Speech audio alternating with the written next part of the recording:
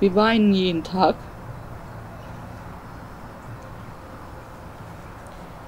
Mein Mann war ja ein guter Mensch.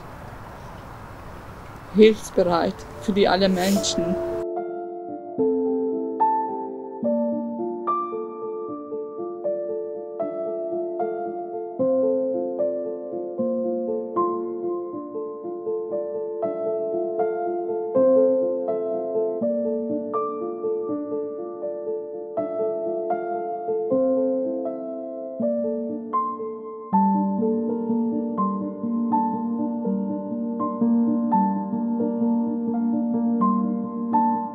Meine Tochter hat diese Tag Prüfung gehabt. Äh, sie hat mich angerufen, sie sagte, äh, Mama, ich habe dann geschafft. Irgendwann zehn Minuten rief sie mich an, Mama, ich habe irgendwas im Radio gehört. Hast du was vom Papa was gehört? Und dann habe ich SMS, also WhatsApp geschrieben, Orhan, ich habe auch irgendwas gehört. Äh, warum meldest du dich nicht? Und dann habe ich dann nochmal WhatsApp geschrieben, habe ich gesagt, Orhan, ist alles okay, warum meldest du denn dich nicht? Keine Antwort, gar nicht. Und dann äh, natürlich ging nichts, wir waren hin und her zu Hause, äh, so ganz schlechte Gewissen haben wir, also Gefühl gehabt, irgendwas ist gewesen, passiert. Und dann, dann sind, ich habe dann kurz von meinem Küchenfenster rausgeguckt, da habe ich ja meinen Polizeiwagen gesehen also langsam, dass da unsere Straße rief. Und dann nachher, also da wusste genau, was da passiert ist. Dann natürlich, ich rennt schnell raus. Da habe ich meine Tochter schreien gesehen, gehört. Dann haben wir von Polizei erfahren. Dann kamen die Freunde, die haben überall eingeparkt und so. Die warten, bis die Polizei uns kam. Und dann haben die uns dann Polizei erzählt. Die wollten ja Patienten abholen. Kurz 20 Uhr 9 hat er mich angerufen. Aber ich wusste nicht, äh, das kann auch, äh, die fahren ja, die haben einen Patienten geholt und dann hat er mich angerufen, nochmal hat er gesagt, die fahren nachher so einen Patienten zu holen. Und dann die sind alle drei so hochgegangen. Und dann hat die Betreuer Schlüsse gehabt und dann die sind reingegangen. Und dann hat er sich, Täter hat sich vorbereitet, ja.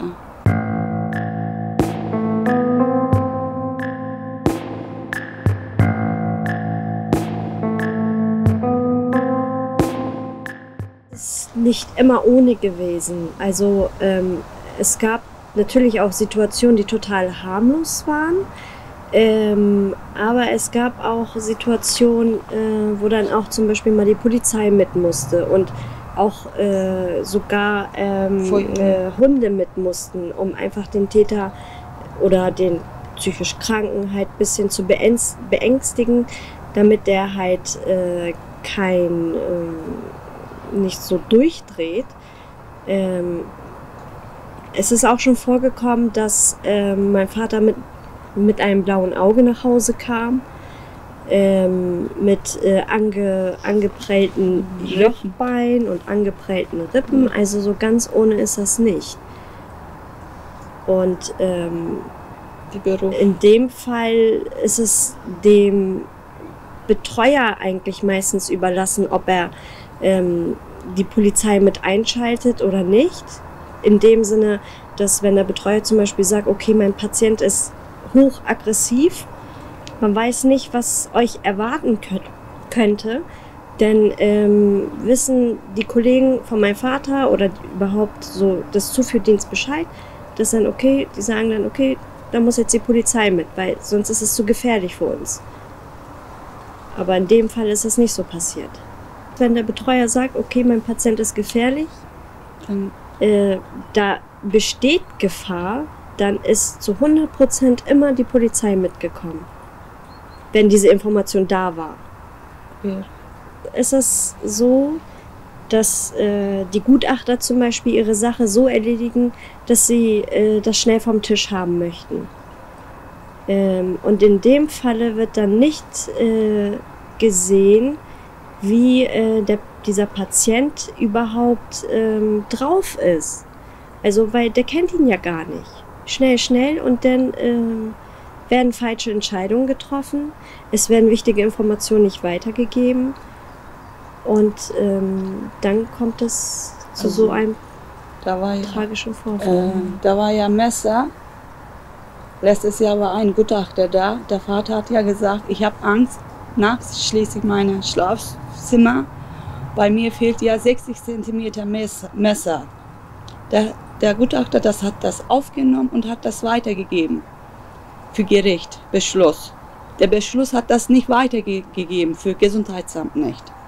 Wenn das das wäre, hätte mein Mann in, am Leben jetzt. Wäre er am Leben. Am, wäre am Leben.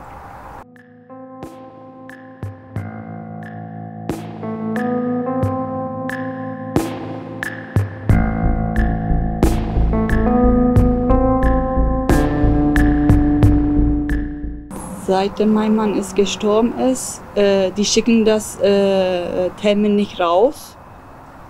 Wenn die, wenn die solche Patienten abgeholt werden müssen, äh, ohne Termin, dann gehen die dann mit Polizei dahin. Und die haben äh, Schutzweste haben die bekommen. Ähm, wenn mein Vater würde noch leben, wenn dieser Patient keine Vorinformation kriegen würde, dass er zwangseingewiesen wird. Also von meinem Gefühl sogar zu 100 Prozent wäre mein Vater heute noch hier. Dann auch noch, wenn jeder Einzelne, der davor mit diesem Patient gearbeitet hat, seine Arbeit richtig gemacht hätte.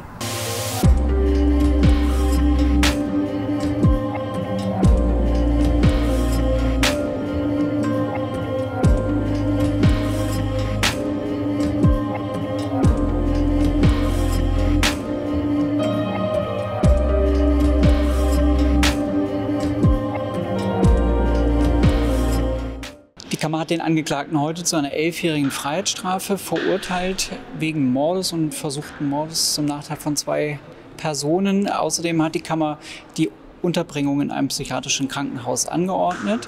Denn ähm, man muss davon ausgehen, dass der Angeklagte schwer psychisch erkrankt ist und äh, infolge dieses psychischen Zustands ja auch in seiner Schuldfähigkeit äh, erheblich vermindert war, ähm, sodass er in, seinen Verhaltens, in seiner Verhaltenssteuerung eingeschränkt war, aber ähm, wobei diese Einschränkung nicht so gravierend war, ähm, dass er sein Verhalten gar nicht mehr steuern konnte. Der Vorsitzende hat in der Urteilsbegründung deutlich gemacht, dass es wünschenswert äh, gewesen wäre, wenn äh, die Zuführbediensteten oder der Zuführdienst insgesamt vollständigen Einblick in die Betreuungsakte gehabt hätte, aus der zwar keine aggressiven Übergriffe auf Dritte hervorgegangen ist, allerdings ähm, sich darin Hinweise gefunden haben, dass der Angeklagte äh, zum Beispiel ein Brotmesser in seinem, äh, in seinem Zimmer deponiert hatte, mit dem Ziel, eine etwaige Einweisung in die Psychiatrie zu verhindern. Ist auf jeden Fall nicht ausreichend und ähm, keine Genugtuung. Also ich hoffe nur, dass der Angeklagte äh, durch dieses Urteil ähm, die bewusste Verantwortung über das Geschehen bekommt das ist nicht Gerechtigkeit für uns.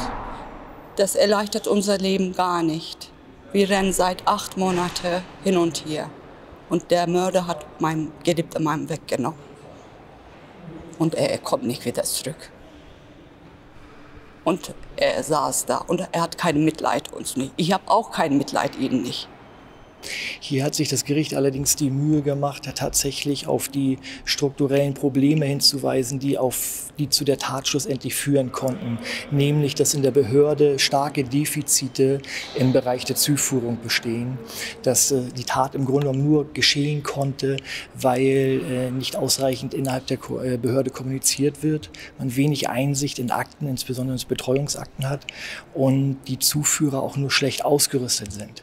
Und das ist etwas natürlich, was meine Mandantinnen auch im Rahmen des Nebenklageverfahrens ähm, herausstellen wollten, dass diese strukturellen Defizite in der Behörde bestehen und dass schlussendlich dadurch diese Tat auch gefördert werden konnte.